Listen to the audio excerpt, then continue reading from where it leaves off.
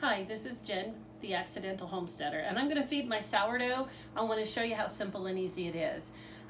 You can weigh it all out, I do not. And I have pretty good success, so this is how I do it. So I discarded all but a, about a half cup of starter in here. And I am going to put a half cup in here.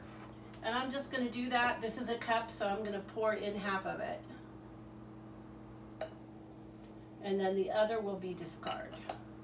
Let's see where we are. Um, that might be a little much. Again, it's not a big deal. Yeah, that looks right. So there's a half cup. And I find, I already measured, this is a half cup tap water. My tap water works. Some people struggle with tap water. And I have it not hot, not cold. My mama always said baby bath water temperature is what you want for your yeast to grow and this is a similar thing. Um, I always, you can always err on a little cooler. Um, if it's too hot, it could kill your cultures.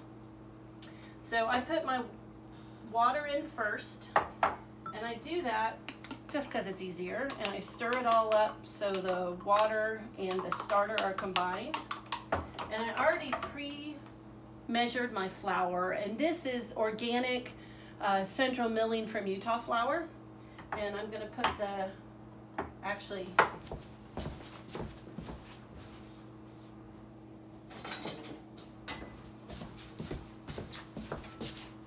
this will make it easier.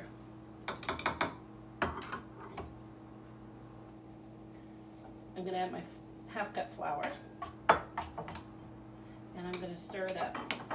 Now this is not doesn't have much room in here, um, I thought the jar would be big enough. I'm transporting it to Bishop uh, to give to a, an Insta friend that wants to try my, my starter alongside her starter. Um, once I have it mixed up, um, I'll decide, I probably will just put the lid on um, loosely and call it good, but we'll see.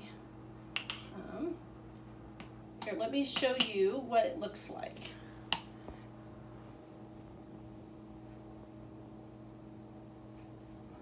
And then for my starter that I keep in my crock here, I'm going to put a half cup of the tempered water in there, warm, not cold, and not hot, just it's kind of baby bath water temperature. And then, if I add the right thing, we'll be good. I am going to add my half cup flour, stir it up, and I usually let it sit out about a half hour before I put it back in the fridge. Um, We'll see.